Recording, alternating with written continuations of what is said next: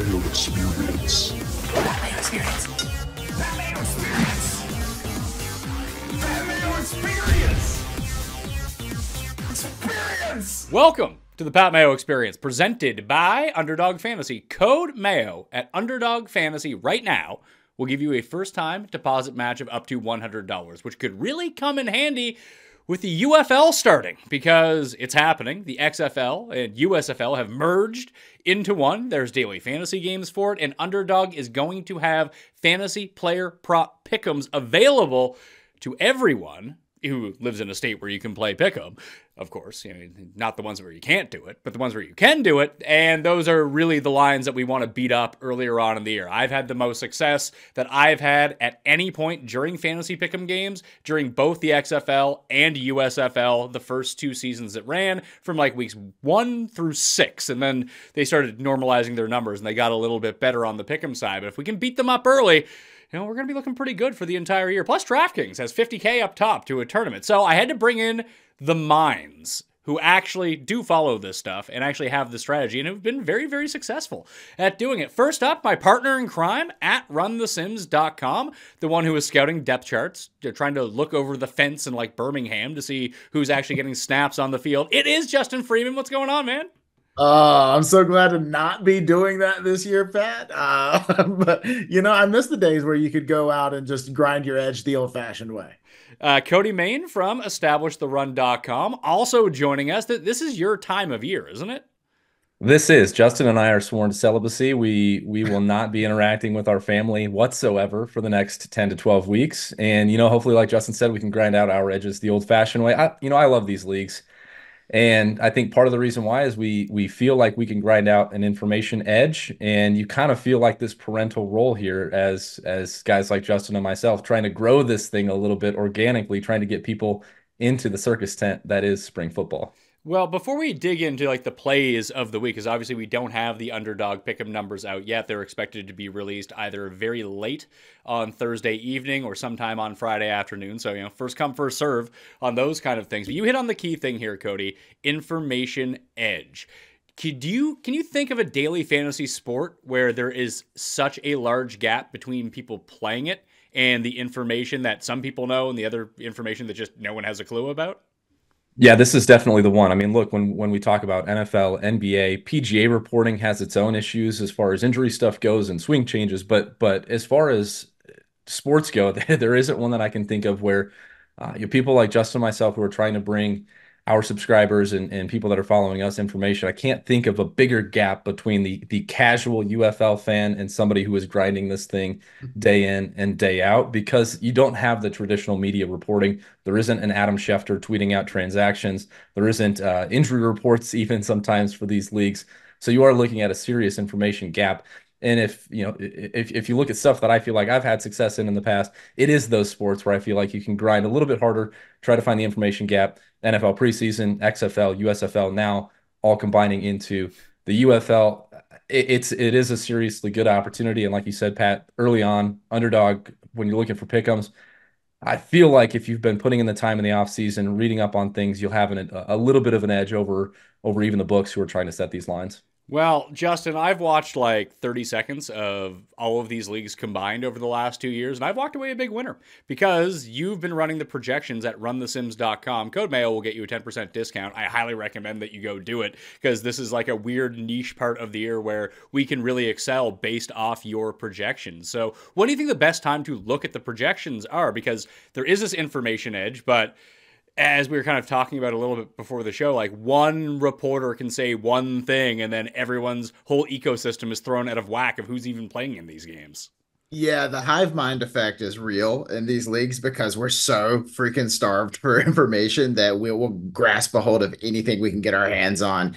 Um, and it goes around the echo chamber. But no, it's it's always a good time to be sort of keeping up to date with the lines. Um, part of the way we do things at Run the Sims, obviously, is um, you know, we have we have tools designed to help beat these pick'em sites. So the moment they drop lines, we're refreshing our sims to say, "Hey, how often is this guy going over or under this number?" So we want to we want to hop on that right out of the gate because uh, sickos like Cody and myself are going to be hammering those lines as soon as they are released. And so if we see a prop lines off by 25 yards, it's not going to stay that way for very long. So um, good reason to hop in Discord of your you know, site of choice and make sure that you're up to date on when those lines are getting posted because uh, they will get normalized. And it's not to say you can't also uh, find value a little bit later in the week. Um, and we're going to try to make sure that our subscribers have a good feel of where those opportunities lie.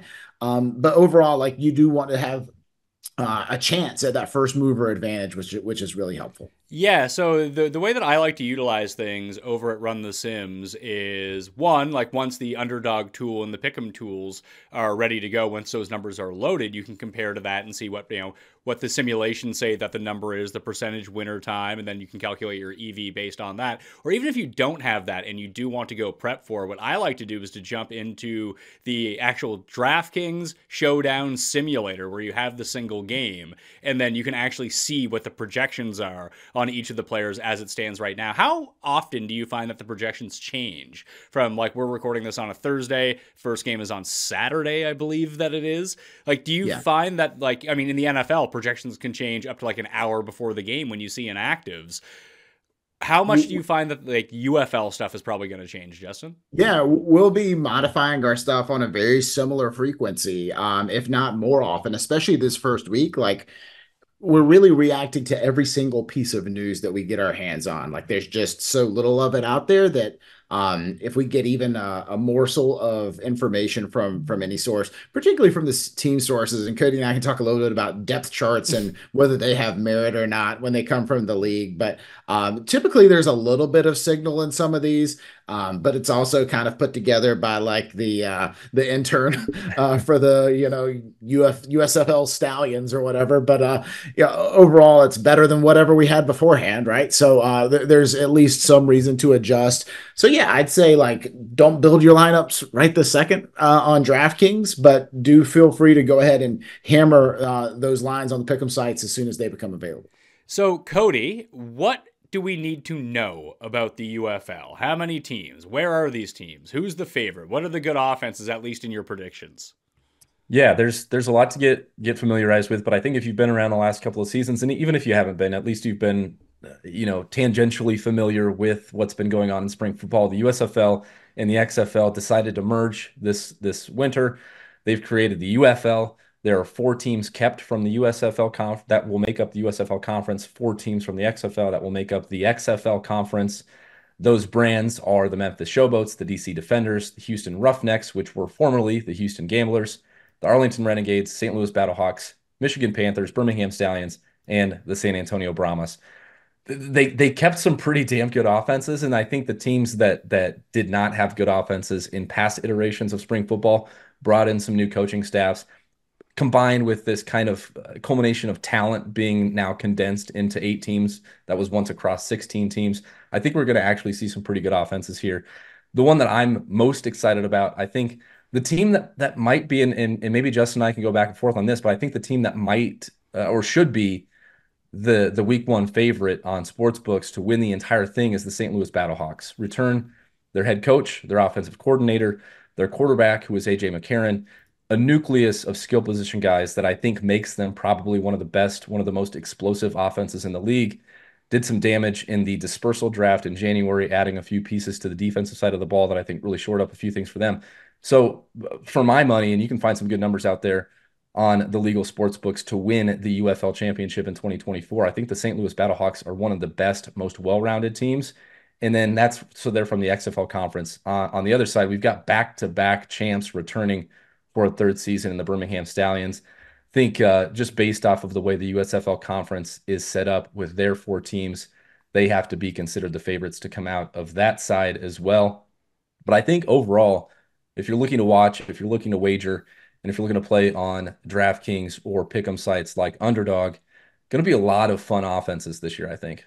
Yeah, Justin, was there any offense that stood out to you as like, oh, this offense is terrible? Like we we really just want to actively avoid this one. I, think there's a few potential landmines out there. Um, you never really know until you see the the quarterbacks tried out. But I kind of have circled on on my uh, radar here Michigan and Houston as being probably the two biggest liabilities offensively. Uh, of course, like if if they get great quarterback play, that can all change in an instant. We've seen terrible teams in the XFL previously not stay terrible forever once they found consistent quarterback play. But uh, EJ Perry will be the quarterback for the Michigan Panthers, uh, at least presumably as of right now. Um, and then when you look around the rest of that team, just I don't see a ton of high upside. And I think mostly this is um, me making a claim against uh, EJ Perry and my ability for him to command that offense more so than it is uh, the supporting cast. There's a couple names I do like. Former Philadelphia Stars, Matt Colburn, Devin Gray, um, Jordan Suell are on that team as well. Uh, guys who I have liked historically, and Wes Hills, who was a uh, very high volume rusher last year. So are these just like Madden creative player names for you, Pat? You're just like, what are we talking about? no, because I, I played the deal like the DraftKings slate every single week. I was playing Pick'em every single week, but I was just looking at the projections. I, I all I remember is Wes Hillis was at one point projected to have like 35 touches in a game. And I can't remember yeah. if he's the guy who just randomly didn't play one of the games.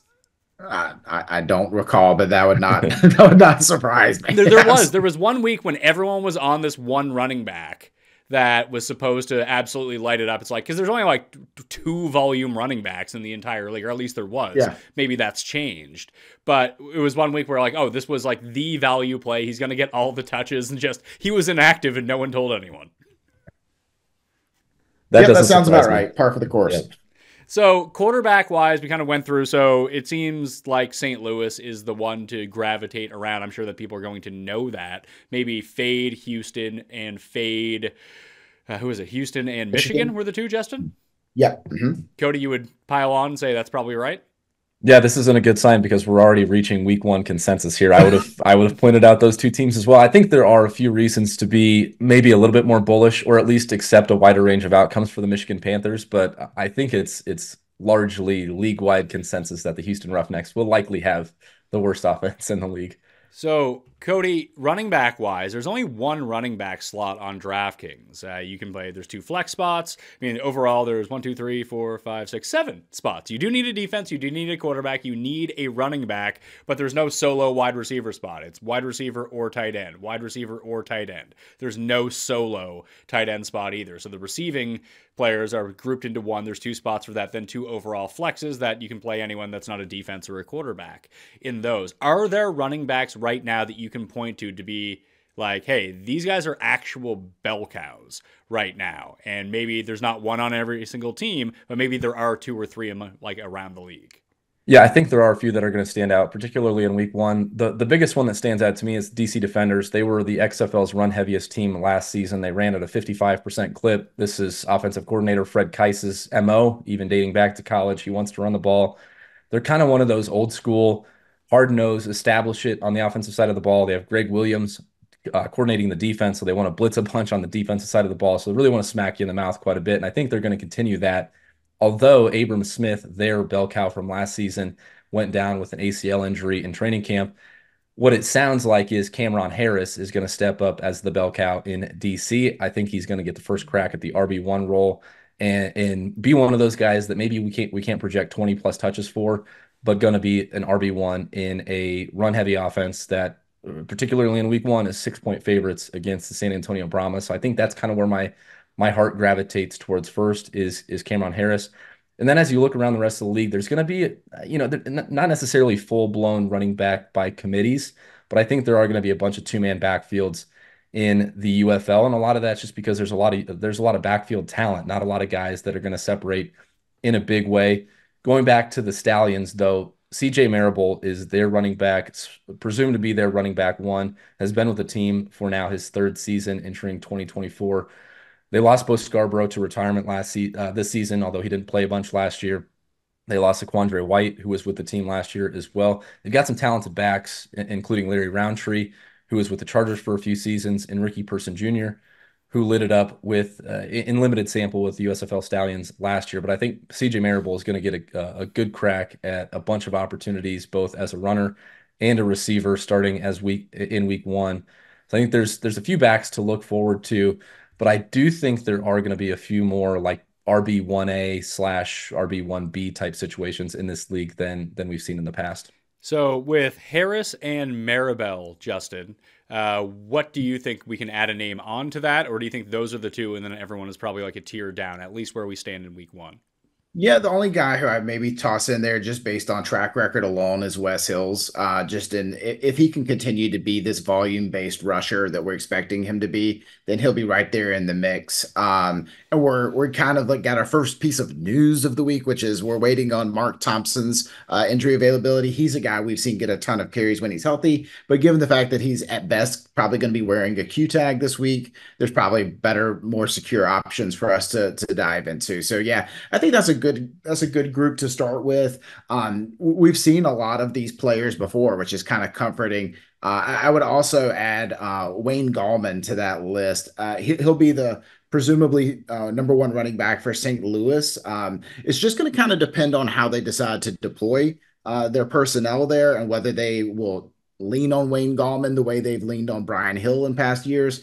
Um, so like that's a fun offense to be a part of and you sort of hit your wagon to. So th- there's you know there's kind of upside cases for all these guys. So what I'm trying to do is just let's let's make sure we uh you know check all this and kind of flatten our exposures out across the board. Yeah, well, so is that the way that you would want to play it here? Uh, in terms of running back, like where we don't know that maybe it's best to stack up an offense or even just you know a mini stack of another offense and just mm-hmm. kind of rotate through running backs. Cody, it's a lot like what I do in DFS golf, where especially like in a week where we're just having right now, where everyone wants to play Scotty Scheffler and they do want to pair him with one of these very top end guys. Well, that means you need to go diving in a dumpster for the bottom end of your lineup instead of really committing yourself to three guys for three lineups in the five thousand or six thousand dollar range. I basically just built a whole bunch of lineups with the two studs that I wanted, and then just rotated in through a bunch of just loser players, and hopefully I got lucky.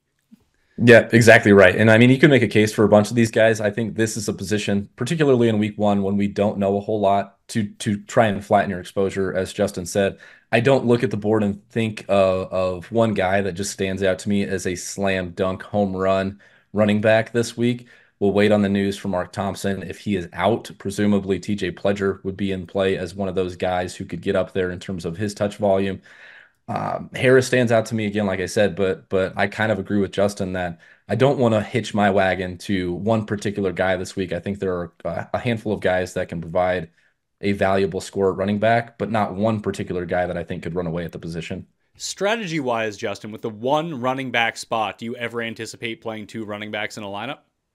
Yeah, absolutely. I think there's plenty of reason to play as many as three running backs, particularly early in the season where we're trying to jam in some projectable volume. A lot of times, what will happen is if you lean really receiver heavy, you can essentially over leverage your team because we we don't really know where the ball's going anywhere in the offense. But at least when you can narrow it down to one of three different running backs for a particular team, you can feel pretty good that your guy's going to at least put something on the board. So uh, running backs definitely kind of like the high floor play, and I think mixing in a lot of high floor options in week one specifically makes sense. The, the problem is we've seen like running back scoring be pretty capped. And the the real spike week scoring comes from the receiver position. So you, you do have to sort of blend that floor and ceiling, uh, which I know that's kind of like a non-answer, but overall, like, yeah, I, I, think there are builds where having extra running backs makes sense. There's builds where extra receivers make sense. Um, I, I, think you want to try to try to pick your pick your spots accordingly so that you can uh, I guess, not have too much risk in your portfolio. Yeah, so I'm just looking at the uh, run the Sims right now in terms of what we're seeing on the screen. In terms, of I just generated some optimized lineups. So it's a, I'm guessing, Justin, but with your numbers right now, TJ Pledger you have as the actual starter right now. We do, yeah, exactly. We have uh, Mark Thompson projected out right now, so Pledger getting the bulk of that work. Which I mean, we're even hearing words that his theoretical backup could be more of a guy. Who knows? Uh, and Co- Cody, to, to take a look at it, the, the optimizer is spitting out Chase Garbers as the, the main quarterback in the first six highest projected lineups. Yeah, actually, I'd be remiss if we didn't mention Chase Garbers before we move on here because I'm uh, probably one of the biggest San Antonio Brahmas bulls there is out there. Uh, if you remember from XFL 2023, AJ Smith, Wade Phillips, and the Houston Roughnecks coaching staff has moved to San Antonio. They now are in charge of the San Antonio Brahmas. Brahmas was a, a, a bad team, frankly, last season. A bad offense, not an exciting offense, a team that ran the ball way too much. They they injected a ton of uh, offensive firepower into that, and that starts with Chase Garbers, who was named the QB one this offseason after competing with Quentin Dormady, who was the former Orlando Guardians quarterback. But head uh, offensive coordinator AJ Smith had some glowing things to say about Chase Garbers. He actually uh, referred to him and compared compared him to Houston Roughnecks quarterback of 2020 PJ Walker anyone that is a true XFL OG from 2020 knows that MVPJ Walker was the real deal. And so getting any sort of comparison there between Garbers and someone as good in the XFL as PJ Walker is serious praise. I'm excited for the San Antonio Brahmas offense. The books have clearly not caught up to it that that there's this influx of talent and this change in coaching staff because the Brahmas have like the worst odds to win the USFL championship this season. But I do think that they're going to be a much improved offense. Uh, you're going to see a ton of dropbacks from Chase Garbers. Agree with Justin and run the Sims that he should be the the optimal quarterback or one of the optimal quarterbacks this week, just based off of projectable volume. You can project him for 100% of the snaps. This the San Antonio team is going to drop back a ton, and then when you get into the the offensive weaponry that they have, they've got a ton of talent in in their skill position core as well. A lot of speed, a lot of size, and I think that combination is going to be phenomenal for Chase Garbers and the Brahmas offense. Yeah, and San Antonio opens as six point dogs this week, so presumably they're going to throw more often than not, uh, unless they're just so very poorly coached and run the ball 35 times, down 35 points, which I don't think is out of the realm of possibility in the UFL just to make really mind boggling yeah. decisions. But I'm just looking at some of the stacks, Justin, that we can bring up here with Garbers. So the the highest projected one is going to be Garbers with Cody Latimer. Shout out Cody Latimer, he's back. And Jontre Kirkland would probably be the best one. That's expensive though. It's, it's a little expensive, but salaries mean nothing here in week one. So this is uh it just go go find your bargain bin guy that's cheap and and don't think about it again. Like you you could definitely pay up for the guys you want uh in in UFL for sure. So yeah, Jontre Kirkland balled out. Like he was probably on his way to being like a legit MVP candidate last year before he got hurt um a guy who looked like he has quite a bit of sizzle. So um like a speedster. He, he plays like more of an outside role i believe but just like gets down the field lifts the roof off just um subject like if garbers has a big day Kirkland's probably a big part of that. And Latimer, Latimer's technically a tight end, um, but he's going to play kind of all over the formation, I think, for this team. So, um, yeah, they'll, they'll both be on the field together. I think that's, you know, think of it like as a premium double or something like that. I think it's it's well worth paying for. So, Cody, do when we build and construct the DraftKings lineups, like my just default thought was like, all right, who's a dog in one of these games with a little bit of a higher total? Can I grab a quarterback and two receivers or a tight end or just two pass catching options? Is that the way to think about constructing these lineups, do you think? Or is it just fine to have a quarterback with one pass catcher? Or do we need to have two good pass catchers, maybe like the loser pass catcher at no money whatsoever to save all your money? Is there a defined strategy to this that we can realize right now, or are we still kind of a work in progress? Yeah, not to take a cop out answer, but it is one of those things that I think we should take on a, a, slate by slate. And even in this case, like a team by team basis, there are certain quarterbacks and certain offenses that I think would require a double stack. Like in order for the quarterback to go off, he's gonna need to he's gonna need to support two pass catchers. There are other offenses where maybe we've got a, a, a more run centric offense or a, a quarterback that has some rushing ability of his own where I think you can single stack or even even trot him out there naked. Uh, go back to that DC defenders example. Jordan Ta'amu is a quarterback that I think you could pair up with just one pass catcher, or even in some instances run him out naked, just based off of his own rushing ability and his ability to find the end zone with his legs. So I do think it's something you need to think about on a team by team basis for most of these teams, though, uh, just just given the the pass centric nature, I suspect from this league and the pass centric nature from a lot of these teams, St. Louis being one of them, San Antonio being another. Uh, usually, if those guys, if those quarterbacks are going to go off, they're going to bring two of their pass catchers with them, and in a lot of cases, it's going to necessitate a bring back. You're looking at kind of a, a similar basic construction that you would think of from from kind of an NFL main slate, a shorter NFL main slate, of course, with only four games. But uh, again, you can take that on a case by case basis, and there will certainly be times where you don't need to force a stack and definitely don't need to force a bring back. So I, am just going to plug in the tools again now. So I'll go quarterback from San Antonio with a bring back from the DC side. Is there any strategy to picking defenses, Justin, or just kind of roll with whoever's left? Uh, yeah, I like to avoid um, defenses that are a part of my stack, whether that be the same team as my quarterback or oppo team as my quarterback, and just try to pick one from the six remaining teams that are that are out there for sure. All right, so yeah, so it gives us kind of the same thing where we have Chase Garbers, Kirkland, and Latimer as the primary stack from the San Antonio side of the ball, Cody. But then it gives us Keke Coutee. There we are. He's one of the mm-hmm. receivers you can use. Cameron Harris at running back, uh, and then it you know kind of mixes out some of the receivers. But those seem to be the the two big stacks with the two big bringbacks. Would you say that's probably pretty accurate? Yeah, agree. I think that the the Chase Garbers double is going to be a, a, a, popular one, and for very good reason. Finding the bring back is going to be difficult. I think Keke Coutee is going to be a popular guy just based off of, of pedigree, and which, knowing, which is I, I know his say. name. That has to help. Casual fans know his name. Uh, there's some NFL experience, like legitimate NFL production, regular season NFL production, not just preseason production, and the defenders lost their top three receivers from last season, vacate almost 70% of their targets from 2023. So we're looking for somebody like Coutee to step to step in. We think he will, but there all there are also some cheaper guys that could potentially step up. Brandon Smith was with the team last season. He's a big bodied target who could play on the outside. Chris Rowland is a former Philadelphia star. He could be a, a guy that lines up in the slot a little bit. Could be one of those shorter area A dot type guys that could rack up PPR volume, which is good on DraftKings, of course. So I, I think there's a plenty of ways to play it. If you're going for the premium stack, of course, Cameron Harris as the running back from that team is going to be good, a team that likes to run a lot. And then on the, the receiver side, I think the premium wide receiver who we feel most confident in is probably Coutee. Yeah, so I think I'd rather go with the running back angle on that one, Justin. You mentioned uh, Jordan Ta'amu, Cody. Justin, are there any other running quarterbacks that we should be aware of, or is it just really Ta'amu? Uh, there's there's your sneaky group of runners as well. Um, but yeah, it, it, can go a lot of different ways. We we saw Case Cookus, believe it or not, like as a traditional pocket passer, show quite a bit of uh, rushing upside throughout pieces of the last two seasons. Uh, it'd be interesting to see how he looks. And then Chase Garber is a guy who we saw uh, run quite a bit in his college career. So would not be surprised to see that. We're still kind of waiting to get confirmation on what the Birmingham Stallions quarterback situation is going to look like. We currently have it as Matt Corral.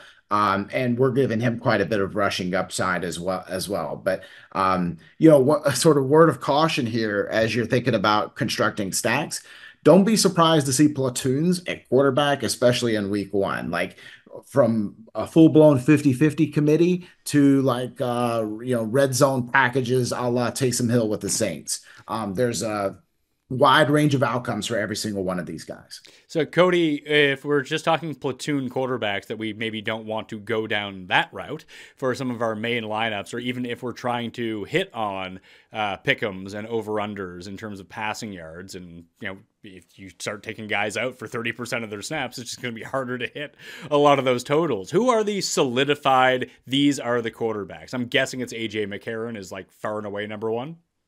AJ McCarron far and away number one. I, I, suspect as long as he stays healthy, AJ McCarron is never going to come off the field. That's that's a huge benefit to him. He is the guy that if you're playing a cash game contest on DraftKings, you know you're going to get 100% of the opportunities for him. Um, kind of going down the list, I think we feel pretty good. I feel pretty good about Chase Garbers. I think just the specific verbiage used by both head coach Wade Phillips and offensive coordinator AJ Smith to, to compare him to arguably the best quarterback that the the spring football leagues have ever seen, pretty high praise. I think Chase Garbers is going to have a pretty long leash for the San Antonio Brahmas. And then you go to the Renegades. Uh, Luis Perez was a guy that came in like week six, week seven via trade last season, averaged 7.9 yards per attempt, completed a bunch of his passes, and then they go on to win the XFL championship. I think he's damn near 100% of the team snaps, pretty close to locked in, not going to come off the field no matter what. And then you do get into some those situations. Justin mentioned the Stallions. We don't know who the starting quarterback is yet. Could see something as crazy as 50 50 there, or something as wild as 100% Matt Corral and no J'Mar Smith. The Panthers, we are expecting EJ Perry, although that has not been announced yet. So that could be another platoon situation between EJ Perry and Danny Etling. The Houston Roughnecks, Jarrett Guarantano. We know he's going to start, but head coach Curtis Johnson has already said that the quarterback two will play at least a series in week one. So there's a full blown platoon situation there. You could see Nolan Henderson or Reid Sinnett play as much as a quarter, I think. Uh, and then the defenders, we like Jordan Ta'amu. Jordan Ta'amu is going to project really well simply because of his team total, because of his rushing upside, because of his efficiency. But we are expecting Jalan McClendon and or Deondre Francois to play a little bit. They offer uh, a, a, little bit more dynamic rushing ability. So I think those guys will see the field some. Uh, and then for the Memphis Showboats, Case Cookus, another guy that I think is close to 100%, but I mean, we're, we're Thursday of uh, a week one, and we still don't know if he's going to be the actual starter. We assume he is. He's listed as a captain, so I would be surprised if he wasn't, uh, but it's not yet been confirmed. So you're really looking at maybe two or three quarterbacks where you feel really, really good about them playing 100% of the snaps, and then the rest of the guys, you kind of have some question marks. Well, I think that's really important. Like, how is that baked into projections, Justin? Obviously, we can go in and you can set it any way that you want if I want to go run them myself. But when we think about the pick'em sites and when yardage is posted for these, do you think just blind unders on a lot of them, if it does look like that wasn't factored in, like if they're just like, hey, Jordan Ta'amu, yep, he's going to play 100% of the snaps, like, well, maybe that's not so much the maybe, case. Yeah, yeah, exactly. Uh, I, I, think I'm typically looking to exclusively play unders in week one if the lines come out anywhere near where I would expect them to come out. Um, what we've seen uh, from Pick'em sites in the past in terms of where those lines, uh, how they've typically looked. So I, I won't no reason to play an over because too many things can go wrong, particularly in week one. So it's not like I'm going blind unders across the board, but I am kind of filtering to exclusively unders as I'm making my slips because, like as you mentioned, there's just so many paths to um to getting there with the under. I mean, you have your the unders are like typically even good bets on the NFL side if you were to take those blindly uh, on player props. Uh, much less here in the in the UFL where we literally know absolutely nothing, and um, you, you get a chance for even like guys further down the depth chart to to start taking away some real opportunities. Yeah, it would strike me as a thing where if the main quarterback got platooned Cody and then the new guy came in and looked great for a series, they'd probably keep rolling with him, wouldn't they? That's one thing I'm concerned about with Jarrett Guarantano in, in Houston. Named the starter, seems like they're pretty safe with him, but, but but what if he struggles for a quarter and then Nolan Henderson comes in in quarter two, leads a touchdown drive? Are we suddenly then looking at a full blown 50 50 split there? I agree with Justin in like, you know, I'm, I'm not going to go go crazy adjusting our projections at Establish the Run after seeing pick'em lines on underdog. But if I see that we we project an over to be pretty strong in week one, I'm going to seriously look at our projections and see what possibly is going on here because I, I generally agree that unders are going to be your safest bets in week one and, and frankly for a couple of weeks until we have some certainty with the data that we're working with. Last two things. Are there any pass catching running backs, Justin, that you think that we can mix in with quarterback stacks? Yeah, I think mixing your quarterback um, w- with your running back is still a viable strategy uh, in, in, this brand of DFS. Um, as I look around at running backs that are going to have a pretty strong uh, pass catching volume. Um, as long as Mark Thompson is out for the Roughnecks, I like TJ Pledger to be involved in the passing game. Um, and then also Wes Hills, uh, we mentioned him being just sort of a workhorse. If if that continues and he just stays on the field all the time, like I think you can certainly pair him up. Now that we're super excited to use his quarterback there, and then um, but uh, from the Brahmas standpoint, we've certainly seen AJ Smith use pass catching running backs. Uh, Max Borghi last year was the guy for the Houston Roughnecks. Uh, and this year, it's going to be some combination of the three running backs they have on the roster, which are Anthony McFarland, a name that Steeler fans will remember, uh, Bryson Aline, and John Lovett, a guy who played decently well down the stretch for the Vipers last year. But uh, overall, like I, I, think you don't want to go down too far down the running back depth chart. I don't think uh, so. Sticking with McFarland and hoping that he can be sort of the primary rushing and receiving back uh, is it would be a smart way to pair him up with the with the Brahmas quarterback. Well, the thing that we need to know who are the guys that we're playing who no one else is playing, Cody, and are super cheap, so we can make all these lineups work. Yeah, it's interesting. I haven't had a chance to run our ownership projections yet, and and now that I'm hearing Justin talk, I think there's consensus on a few things. So I think there there might be some spots where ownership does get blown out in a big way. Certainly keep an eye on that as we get a little bit closer to lock. Uh, I'm going to use the word and a phrase that I've used a lot with spring football in the past is cautious optimism that Marquez Stevenson flies a little bit under the radar as the presumptive slot receiver in the San Antonio Brahmas offense. I believe he's 5,800, a guy that was taken by the Bills in the sixth round of the NFL draft, uh, has been on IR, been on PUP, a guy that never really felt like he got healthy in the NFL and got a chance but you you're hearing glowing reports from both Wade Phillips and AJ Smith referred to as what they think is one of the fastest players in the league. And I think he's going to play a very important slot role in AJ Smith's offense. AJ Smith loves to go four wide. So the way I see it, John Ch- Jontre Kirklin on one side, Justin Smith on the other side, or some rotating cast of characters on the other side. And then you have Cody Latimer and Marquez Stevenson, who can both play in the slot. Cody Latimer, a guy that played 80% of his snaps from the slot last season. Give me Marquez Stevenson, a guy that that maybe is a four four type burner in this league. We've seen guys with just physical traits win, whether it's with size or with speed, and I think he can win at this level. I, I just uh, I hope he doesn't get too too carried away in terms of his his actual ownership. So the other ones that I'm looking at right now, based off the projections being spit out, Justin, looks like DeAndre Overton at thirty six hundred dollars is a decent points per dollar guy.